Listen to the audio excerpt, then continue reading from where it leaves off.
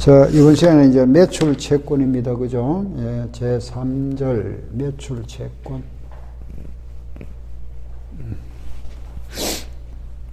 232쪽이죠. 그죠?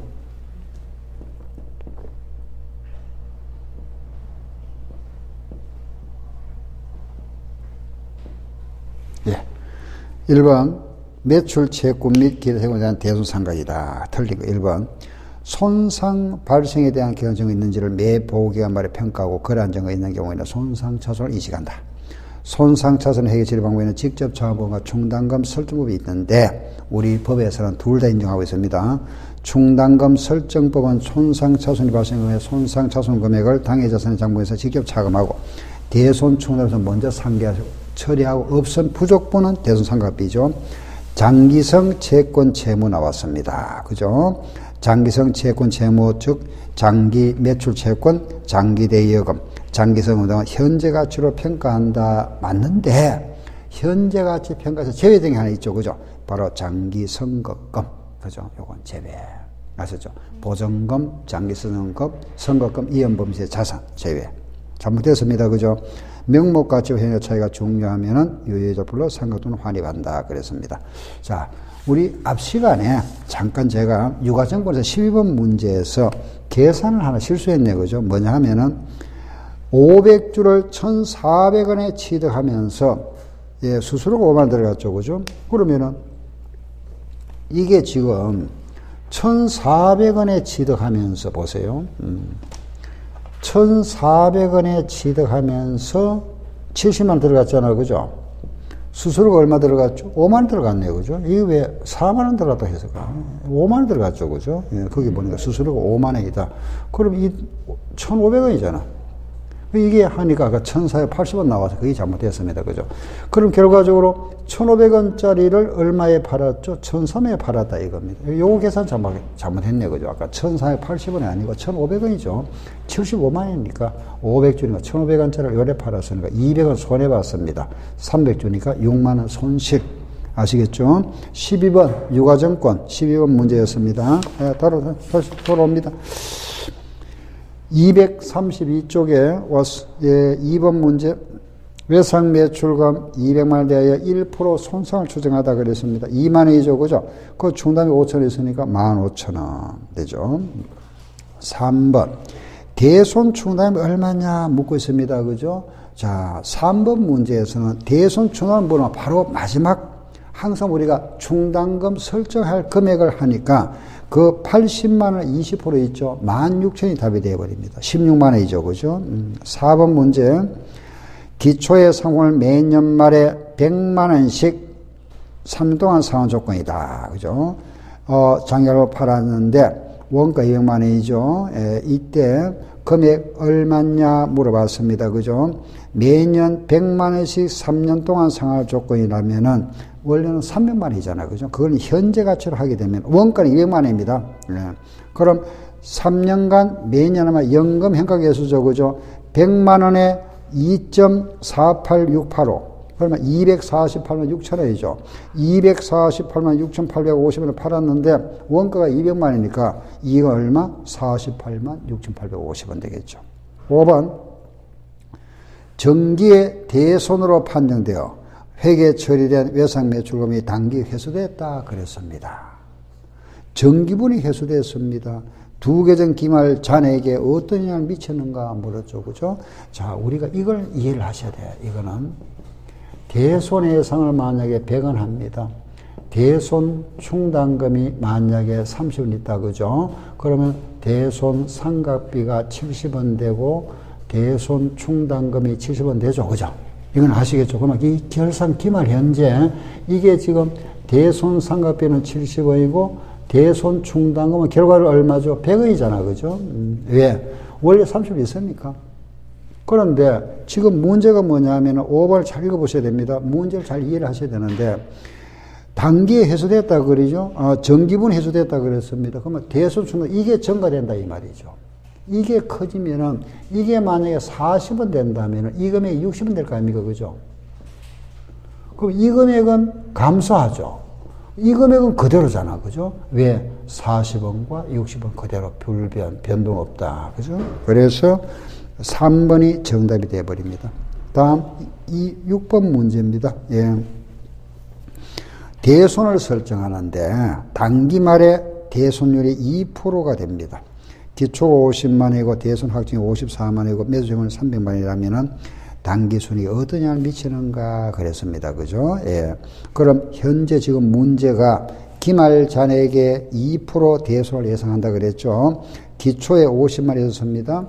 지금 50만인데 대손 확정이 53만 돼버렸다. 그죠? 그러면은 이 문제는 두 문제죠. 그죠? 대손이 확정된 문제를 한 해야 되겠습니다. 잘 보세요. 매출 채권이, 매출 채권이, 예, 얼마 확정되었습니까? 53원 확정됐죠. 그죠? 됐는데, 장부에 지금 대손 충당금이 얼마 있죠? 50만 있죠. 그럼 나머지는 뭐가 되죠? 대손 상각비 4만 원 되고. 없는 상태입니다. 그죠? 없는 상태에서 이제 예상하는 거죠. 기말 잔액 300만에 대하여 몇 프로? 2% 대손 예상했습니다. 그럼 얼마? 6만 원이죠. 대손 상각비 6만원 대변에 대손 충당금 6만원 되겠습니다. 그죠? 이때 묻는 말 보세요. 대손 상각비가 지금 결과적으로 10만원 생겼잖아. 그죠? 그러면은 이익은 10만원만큼 뭐 할까요? 감소한다. 이겁니다. 7번. 단기 초에 상각되었던 채권이 기중에 다시 회수됐다. 그럼 반대잖아. 그죠? 근데 대손 처리 당시에 충당 부족했으니까 그러면은 대손 충당금 대손하고 있었겠죠. 그게 그대로. 그러면은 차변이든 대손 충당과 대손 상업이 반대니까 그죠? 대변의 대손 충당금, 대손 상업이 요 그 요게 미치는 영향입니다. 그러면 대손 충당금은 대변에 왔으니까 증가한 거죠. 요거는 증가한 거고 비용이 대변했으니까 감소한 거잖아. 그죠? 음. 대손 충당금은 증가하고 대손 상업비는 감소했다. 8번 문제.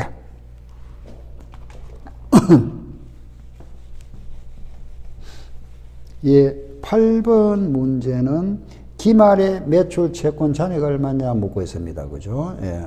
여기에 기초 매출 채권과 기말 매출 채권, 그리고 외상 매출과 회수가 있죠. 그죠? 이렇게 회수. 예. 그런데 지금 현재 묻는 말이 기말 잔액 얼마냐 묻고 있습니다. 그럼 문제에서 기초에 주어진 게 16,000원이죠. 16,000원이고 회수가 얼마죠? 52,000원이다. 여기 안 주어졌죠? 요금이 구해와야 됩니다. 그러면 자료가 뭐가 주어졌습니까? 상품이 주어졌죠. 그죠? 그러면 기초상품, 기말상품, 매입, 매출, 이익, 이렇게 나옵니다. 자, 여기서 기초상품은 2만 4천 원이고, 그렇죠? 음. 기말 상품은 2만 2천 원이죠. 그리고 매입은 4만 원이고, 이익은 1만 8천 원. 그 이거면 구할 수 있잖아. 그죠? 예. 얼마가 되죠? 음, 6만 원에 그죠? 요 6만 원인데 조심해야 됩니다. 현금 매출이 만 원 있잖아요. 그럼 외상 매출은 얼마? 5만 원이죠. 그 외상 매출이 5만 원이니까 6만 6천 원에서 5만 2천 원 빼니까 답은 얼마? 1만 4천 원 되겠네. 그죠? 음. 다음 9번 문제는 음 문제가 나왔습니다. 음 할인 문제네. 그죠? 이렇게. 예.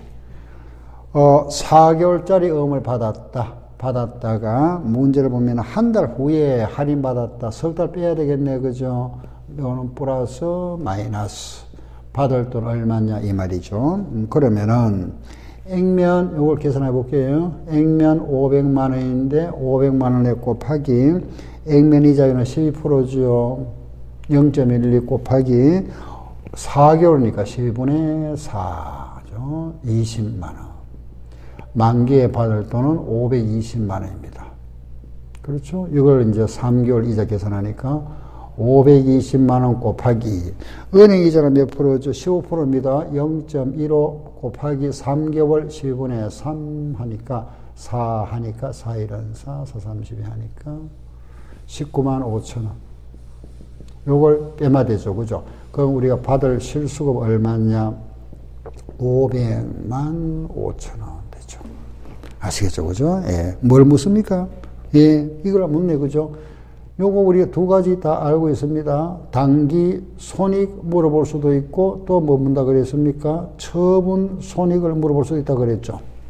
이제 단기 손익을 물어봅니다. 그러면은 단기 손익은 액면 500만 원인데 500만 5천 원 받았으니까 5천 원 더 받았죠? 5천 원 더 받았다. 처분 손익은 요거 이자 20만 원과 19만 5천 계산하면 되죠. 그죠?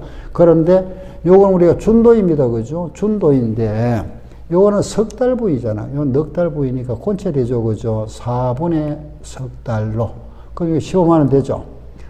15만 원 줄 돈을 19만 5천 원 줬으면 더 많이 줬잖아. 그죠? 4만 5천 원 더 줬다. 그럼 묻는 말이 뭐죠? 처분 소식 요거 묻고 있네. 정답 4만 5천 원입니다. 10번. 2 슬러시 10. N 30. 40이네. 그죠? 1대 실질이 얼마냐 물어보신다. 자, 물건이 도착하면 40일 내에 내가 대금 결제를 해야 되는데 10일 내에 결제하면 2% 깎아줄게 이렇습니다. 요 기간 며칠 30일이잖아요. 그죠? 30일 동안의 결과적으로 2% 할인율이 적용된다 이래 보는 겁니다. 그럼 이걸 우리가 1년 360일로 본다면은 12배 24% 이걸 우리는 실질 이자율로 본다. 연간 실질 이자율. 음. 다음 11번 문제입니다. 음. 바로 충당금 잔액이 3,500원이라면 대손합이 얼마냐 묻고 있죠. 그죠? 그러면 대손 예상이 얼마인지 알아봐야 되죠. 그죠? 거기 보면은 12만 원에 1%라면 1,200원이고 그리고 9만 원에 2%니까 1,800원이죠. 10만 원에 6%니까 6,000원입니다. 그죠? 예, 결국 9,000원이죠. 대손 예상이 9,000원인데 그 지금 문제에서 대손 충당이 얼마 있다? 3,500원 있죠. 그러면 결국 얼마? 5,500원. 그럼 대손 상각비 5,500원. 대변에 대손 충당금 5,500원 되잖아. 그죠? 예. 정답 요거 물어봅니다. 5,500원입니다. 다음 12번 문제. 음. 액면 10만원짜리 무이자금을 받았고 이때 묻는 말 보세요. 매출액 얼마냐 묻고 있죠. 그죠? 예. 3년 만기 10만짜리 원을 받았다 그랬습니다. 3년 만기라 그랬습니다. 뭐 3년 후에 받을 돈이죠. 그죠? 현재 가치 얼마죠? 0.7118. 그럼 10만 원 곱하기 0.718 하니까 7만 1180원. 1번 답이 되버린다. 10, 예, 3번. 13번 문제는, 예, 서울에서는 영업 개시를 하였는데 저로 다음과 같다. 음. 이 문제는 회사의 매출 채권 잔액 얼마인가 묻고 있죠, 그죠? 예, 그 기말에 매출 채권 얼마인가 묻는 문제입니다. 음.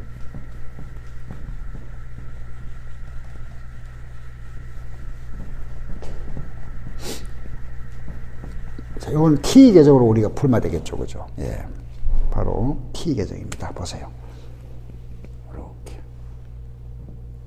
기초, 기말, 매출, 회수, 요금액 얼마냐 묻잖아. 그죠? 음. 그럼, 자, 지금 보면은 고유도 해소한 금액 20만 원이다. 그랬죠. 그죠? 나머지 안 줘졌죠.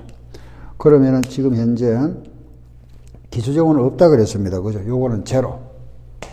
없고 음. 지금 요 여기 없다 그래. 요걸 구해 와야 되잖아. 그죠? 상품에서 구해 와야 되는데. 그 상품 자료를 보니까 뭐가 있죠? 원가의 50% 이익을 가산한다 그랬습니다. 기초 상품 기말 상품 매입 원가. 요 원가의 50% 이익을 가산하여 팔았다 그랬죠. 그죠? 판다. 이익. 예 이렇게 팔죠. 그죠? 예. 매출입니다. 그죠? 자, 그러면은 문제에서 보세요. 예, 매입 금액은 35만 원입니다. 기초는 없다 그랬죠. 그죠? 예. 지금 기말 상품은 7만 원입니다. 그럼 35만 7만 원 빼고 28만 원이잖아. 그죠? 28만 원 1.5 하니까 얼마죠? 42만 원이죠. 묘 42만 원 나오니까 매출이니까 20만 원 빼고 나면 얼마? 22만 원 정답. 되죠. 그죠? 음. 예, 14번 문제는 앞에 문제하고 똑같은 문제입니다. 8번 문제하고 똑같은 모양이니까 풀어보시면 되겠고, 그 쉬운 문제도 마찬가지 음 문제죠. 그죠? 음은 우리가 많이 해왔으니까. 예, 요거는 이제 음 할인 문제입니다. 음. 16번. 이 문제는 거의 시험에 막 과거에 한 번 딱 나왔습니다. 음.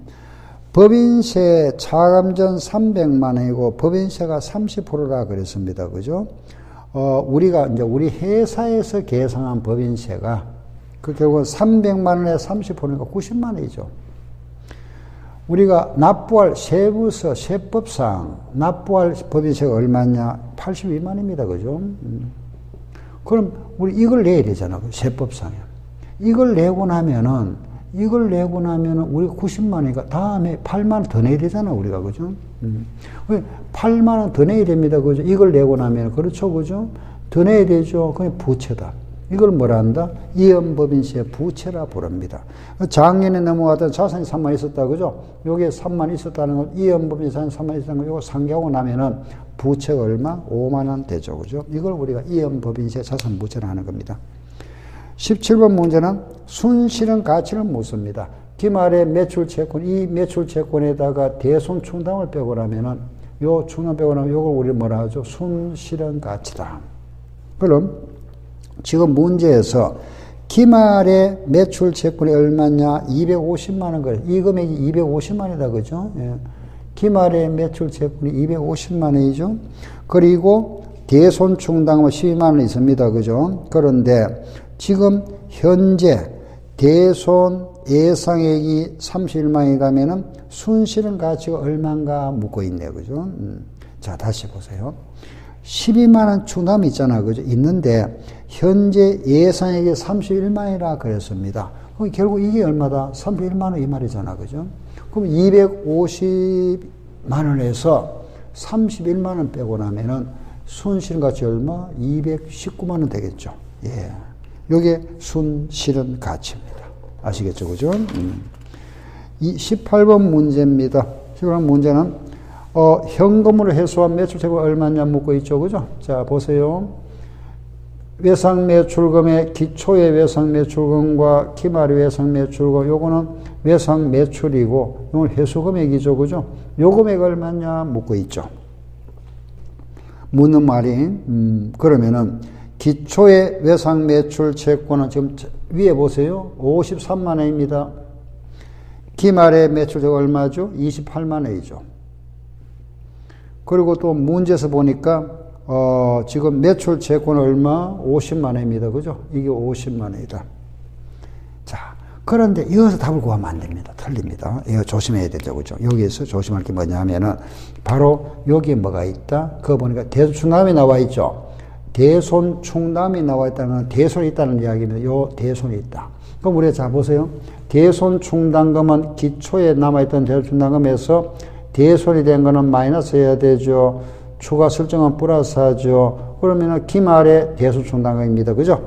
그럼 기초에 남아있던 대손충당금이 얼마였죠? 4만 있었죠. 요게 4만 있었고, 기말에 대손충당금은 3만 있습니다.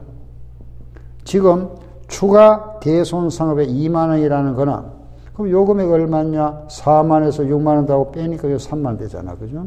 요게 3만 있다 이겁니다. 그럼 차변과 되면 학기가 같다. 그죠? 그러면은 차변 학기는 103만 원에다가 31만 빼고 나면 얼마가 되죠? 72만 원 나옵니까? 예, 아니네. 그죠? 이게 53만 원이고, 이게 28만 원이고, 어, 매출, 아, 아 이게 아니네. 이, 이, 이 금액이 뭐라 그랬습니까? 회수한 매출, 이게 50만 원이죠. 그죠? 지금 묻는 게 뭘 묻습니까? 요걸 묻고 있네, 그죠? 요건 묻잖아, 그죠? 음. 회수한 거, 그러면 이게 합계 얼마죠? 어, 81만 원. 81만원에서 53만원 빼니까 28만원 정답. 여기 20, 이건 묻는 제가 50만 잘못 갖다 놨습니다. 그죠? 거기 보면은 회수한 매출 채권이잖아. 그죠? 요거, 요거, 여기 50만이다 말이죠. 음. 다음, 19번 문제. 예. 그 19번 문제는 매출 채권의 순장부 금액이 32만 원이다. 여기에 32만 원, 순실행 가치가 32만 원 이 말입니다. 대손 상각비가 5만 원이고 정기말 충당은 5만 원 있고 대손 확정이 2만 원이라면은 대손 충당금 차감 전 매출 이거 얼마냐 이거 묻죠 있죠. 요 요거 요거 차감하고 뭐 요금에 구해 봐야 되죠. 요런 식으로 구하면 되죠. 똑같습니다. 이렇게. 네. 그러면은 보여 볼게요. 그 주어진 거 보세요. 지금 19번 문제 보세요. 정기 말에 충담 잔액이 5만 있었죠. 그죠? 5만 있었고 단기에 확정이 2만 원대 마이너스. 그리고 또 대손 상각비가 5만 있다 그랬죠. 그러면은 5만에서 대손 발생 2만 원이고 추가 5만 했으니까 결과 기말이 얼마? 8만 원이죠. 요게 8만 원이라 이 말이죠. 얼마에서 8만 원 빼니까 30만 원 나왔습니다. 이건 얼마? 40만 원 되겠습니다. 그죠? 음. 다음 계정 중에서 성격이 단 하나. 선거금은 자산 계정, 가지금도 자산 계정, 미교산도 자산, 미순도 자산인데 가소은 부채 계정이 부채 계정. 그 성이 다르다. 그죠? 21번. 이번에 연령 분석법입니다. 그죠? 예, 그런데 문제가 뭐냐 하면은 문제 두 문제입니다. 왜? 거기 보시면은 해수일이 제로가 있잖아. 그죠? 아, 이 문제는 우리가 문제가 두 문제다. 대손이 발생했다. 얼마? 2천원. 그죠? 그리고 또 하나는 뭐죠? 대손 해상 이렇게 두 개 나오겠죠. 그죠? 음. 어, 대손 발생과 대손 해상의 두 문제가 나왔습니다. 그죠? 음.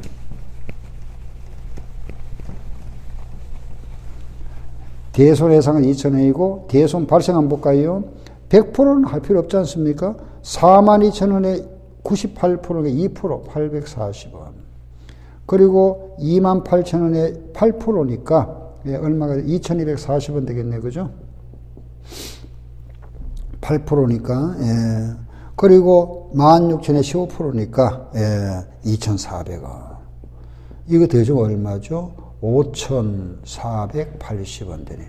그럼 예상은 5,480원이다. 그죠? 요래 두 문제.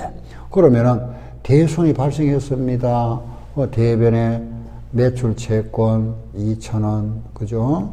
그 지금 문제에서 충당이 얼마있죠? 8천 있죠? 그죠? 그럼 대손 충당금 2,000원 했습니다. 그죠? 6천 남아있죠? 자, 6천원 지금 남아있는데 예상을 5,480원 했습니다. 그러면은 6천원 있으니까 더 많이 있잖아. 그죠? 그러면은 환입시켜야 되겠죠? 대손 충당금 520원, 충당금 환입 520원. 그죠? 그래 결국은 차변의 충당금 2,520원, 환입과 매출 채권 되겠습니다. 그죠? 1번 답입니다. 현금은 지급하였으나 처리할 계정 과목과 금액이 미각적일 때 현금 지급됐죠. 그죠? 이걸 뭐라 한다? 가지급금. 자, 우리가 이 매출 채권에서는 결과적으로 매출 채권에서는 뭐죠? 바로 대손 문제하고 음 할인이 핵심이죠. 그죠? 대손과 음 할인입니다. 그래서 요 부분까지 해서 물론 이제 여러분들이 미리 이제 요 어, 실력 배양 문제는 항상 그 복습을 좀 숙제입니다. 그죠? 숙제를 좀 해 오셔야 됩니다. 그래서 제가 지난 시간에 요 기본 문제 해드렸으니까 이건 한번 현재 먼저 혼자 한번 풀어보시고 나서 요 강의를 들으시기 바랍니다. 아시겠죠? 그죠? 그럼 우리 이제, 어, 현금, 예금, 주식, 외상까지 끝나고, 이제 다음 시간에 상품 할 차례입니다. 재고자산이죠. 그죠? 그 재고자산도 마찬가지 이제 돌아와서 우리가 뭐 재고자산에 대한 이제 기본 문제를 할 겁니다. 그 기본 포인트 문제부터 또 설명을 해 드리고, 확인, 확선 문제도 하고, 그 다음에는 또 재고 자산에 대한 실력 배양 문제는 여러분들이 또 숙제해서 한번 풀어보시고, 그것도 제가 또 풀어드리고, 풀어드릴 겁니다. 그런 식으로 자꾸 이제 반복하시면 되겠습니다. 아시겠죠? 그죠? 오늘 수업은 여기까지 하고 마치겠습니다. 고생하셨습니다. 음.